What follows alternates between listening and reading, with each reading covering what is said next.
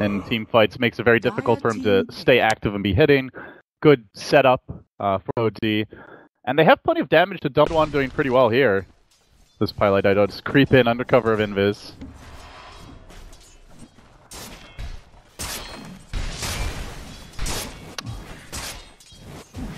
Oh, here comes Puppey. 4F trying to bait this one a bit. Out goes the Ignite. The 4F so low, I don't know if he can get the kill. Actually, that physical damage from the Ogre auto tag gets the job done. It's Zug Zug to the rescue. And now Puppey might be able to get a secondary kill here. There is a salve on Super, but if he could just ignite him and keep on clubbing him, I don't know that Super makes it out. He's got the slightly better... Fusion.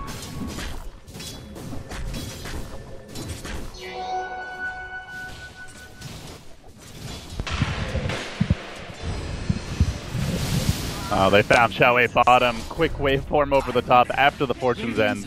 Will secure an easy kill while on the top lane.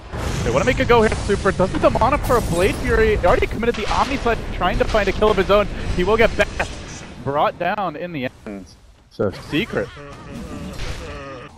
Uh, put Secret to the high ground advantage. They also have Chrono available. No TP on 4 though. This could really come back to haunt them. DD up on front. It's only going to take a couple of auto attacks to secure kill. They go to Midnight, who gets absolutely chunked down. Mid one, just bringing the pain onto him, but the Death Ward comes through. Together with the Maledict, forcing back that Faceless Void. Still yet to even think about a teleport scroll pickup. Stuck around top the whole time there with the kind of start one had. He is definitely making life hard for the Huskar. And those orbs, even though there's not all that much in the way of items on the OD, still hurt a lot. But this could be the engine for the comeback. Young for you, grabbing his blink. Korif has the Chrono, he's gonna go back in. Super has an Omni, but don't know that he gets it off here. The pieliedie nukes raining in, and he will end up popping there to an extra Purifying Flame. It's already level 3. So another death for the Juggernaut. This one, not so much his fault, but they're starting to add up. The Secret make their move on the mid lane, simultaneously trying to go on Monet. Can they keep him alive, shall we? Doesn't have any points in the heal. He will drop very quickly. And now Young for you, getting off the last and trying to focus down mid one, but it's instantly perks off because Twilight Die just hit level 6. What perfect timing for that. Can't even kill off Puppey, who barely limps away with just a sliver of HP. The lone death is that OD, and it's going to come at greater cost. His MP has joined the fight. He makes it a team one secret. His low speed could potentially try to make a move on Super Astral. And Smith ultimate would be close to killing him, but Young for You does have a last already. He wants to use it, doesn't have the flame break to be able to turn this fight around, but they relocate forward. Moving on to mid one, will be able to almost focus him down. They get that second backline kill, now they will turn around for the OD. Mid one to fall as well.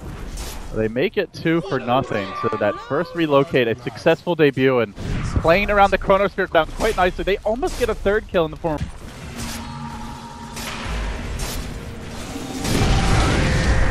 Uh, Chrono comes through to connection, gets the bash of Monet, gets the kill on him, and now turning for Super. No Omni Slash available any longer, but the Io is here with that level up overcharge to try and save him. MP turning to the north, focusing on Xiao muscles down that Witch Doctor, and now flapping away. Will be young for you, but overall for LGD, that last minute or so, gods, they force out a Chrono.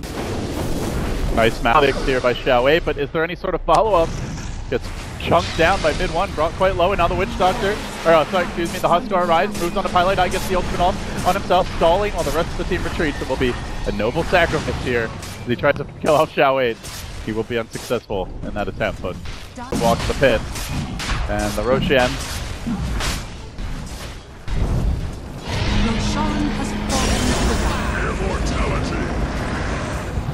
LGD can really do to stop them from split pushing. Try to bait with the Huskar. The Chrono committed, but it also catches LPC. He's a fairly squishy. Io, is he going to be able to get off that? He will, but he ends up dropping anyway. The OD may fall after the satchel, but already the agent's cracked open. The support down as well. Mid one steady his ground. The hammer drop blows up to a complete slaughter in the top lane. Straight on the money. They fought their way through a Huskar agent. He ain't so scary after all. It's the Ogre who's the real beast in the front line. Puppey stands his ground. They team wipe their way through an Aegis six to nil in that particular fight now, but some decent damage done and pretty desperate smoke by LGD. They just lost the fight with the Aegis, got team been back for nothing, and now they're going to try to make something happen in the mid lane. They do grab Puppey, but he's instantly kept alive by the false promise. They commit a dunk onto him, so they just turn back and kill up Monet. Chrono currently on cooldown, and LGD trying to capitalize on that very fact, but already super low. They won't risk the fight. Without the chrono, but 20 seconds until it's up. A blink on 4Ev. BOT's on the Morphling along with that Linken's already.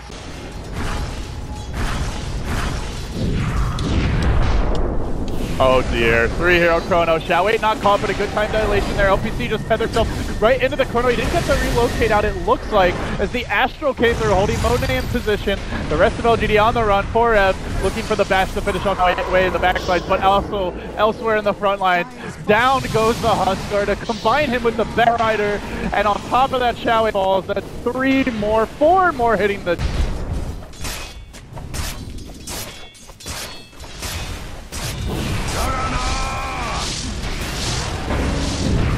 Ah, poor Super. One maybe who at least hope to force out a Chrono. Instead he goes for the enemy, but already prepared with Twilight Eye with the false promise. And then Healing Ward, the last survivor of this particular gank, also will fall. No mercy from poor Evan.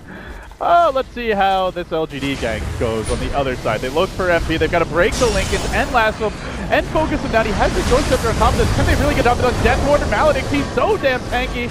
And out he goes, just calmly able to make it away, and the whole team suddenly there to turn this thing around. Chronosphere comes through. The Morphling kept alive. Monet getting clubbed down by an Ogre. Death by a support hitting you inside of Chrono. Now that's embarrassing. Three, about to be four unless LPC can keep himself away. And actually, it will be four, not five. The lone survivor, a puny IO. And now that's that's it. Team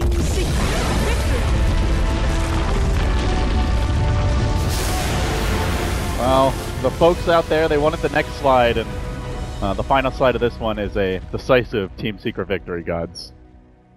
PowerPoint concluded.